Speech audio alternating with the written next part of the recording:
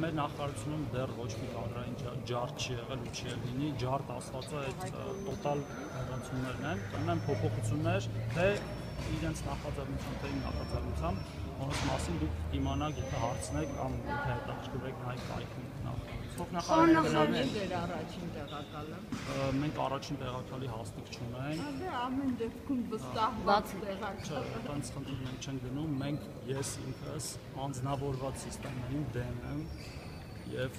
պետք է լինեն այնպեսի մարդիկ, որ եւ վաղը ինչ լինել դեպքում էլ ոչ մի խնդրեմ չառաջանա, այսինքն չի լինելու ամենավստահված մարդ, է վստահված անելու իրենց մասնագիտական ունակությունների շրջանում։